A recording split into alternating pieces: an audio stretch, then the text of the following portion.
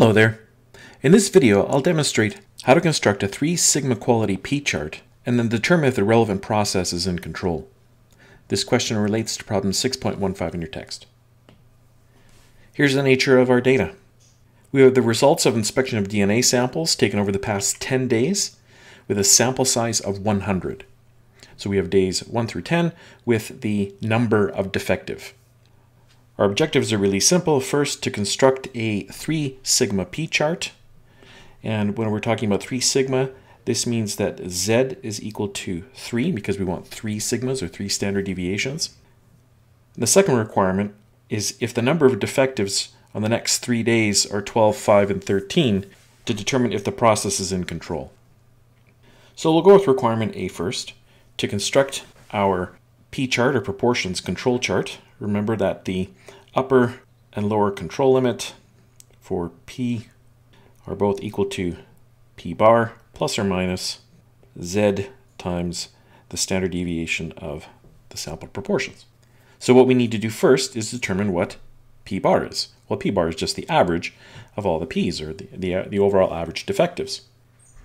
If we add up all of the defectives, the sum are, is going to equal to 57. And if we have 10 days times 100 samples in each, that means we have a total of 1,000 samples. Well then, P bar is equal to 57 over 1,000, which is equal to 0.057, or 5.7%. That's the average defect rate over all of the samples.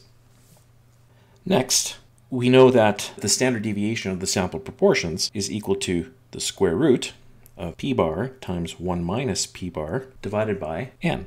So that's equal to the square root of 0.057 times 0.943 because 1 minus 0.057 is 0.943 divided by 100 and that is equal to 0.023.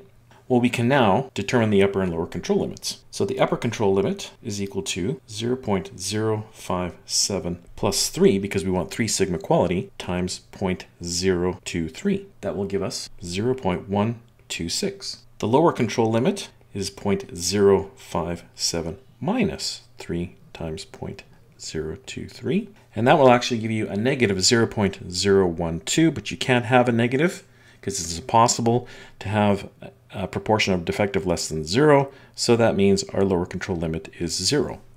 What we can do now is create our chart. We know that the center line is p bar. Our upper control limit might look something like that at 0.126. And then the lower control limit is going to be set to zero. We then have three additional days of data, day 11, 12, and 13. And we're told that day 11 has 12 defectives, 5, and also 13.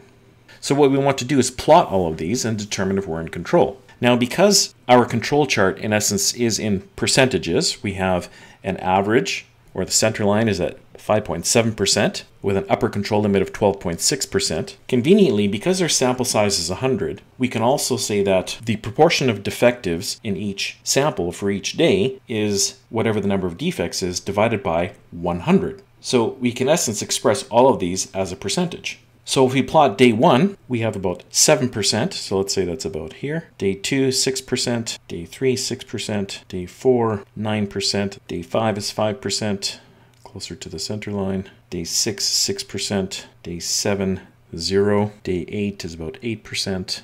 Day nine is about 9%. Day 10 is 1%. Day 11 is 12%, so getting very close to our line. Day 12 is 5%, so just under. And day 13 is 13%. Here we go. So if we were to join our dots, here's what we have.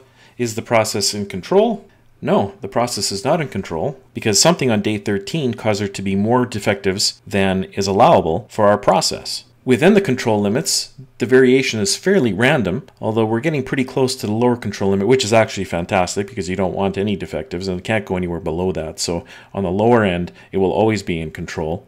And we're getting closer to the upper end over the last few days. So there could be an apparent upward trend here that we may need to be concerned about.